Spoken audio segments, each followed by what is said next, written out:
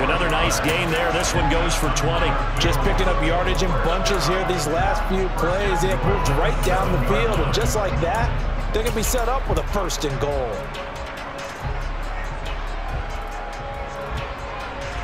Two big plays in succession. Not sure this D knows what hit him, but now they got to get ready. It's first and goal.